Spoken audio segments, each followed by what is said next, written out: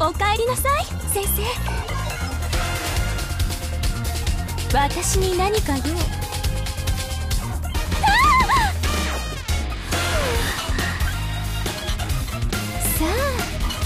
あ始めましょう。みんな行くわよ社長からの提案よありがたく受け取りなさい興味あるなら連絡してちょうだい。どう？悪くない提案でしょ？ありがたく受け取りなさい。便利屋68覚えておきなさい。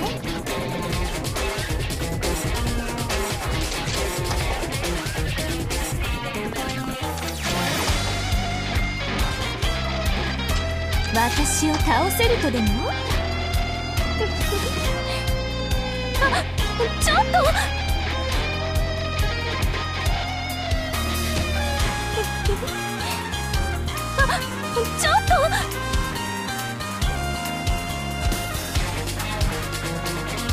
もう終わり？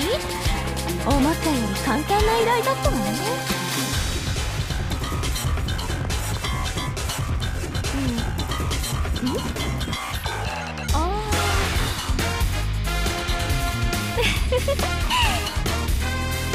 どんな依頼でも言ってちょうだい。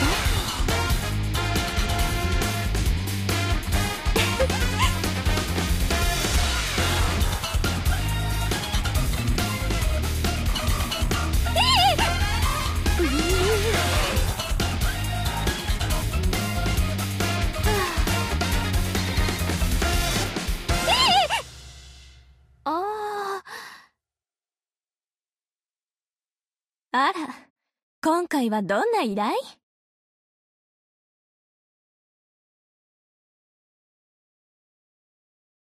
ブルーアーカイブ。